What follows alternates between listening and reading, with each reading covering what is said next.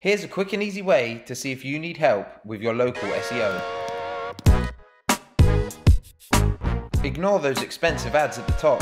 This is the section that we want, the snack pack. Did you see yourself in the top three? How about here? That's a lot of clicks you're missing out on. Do you want those clicks? Get in contact today.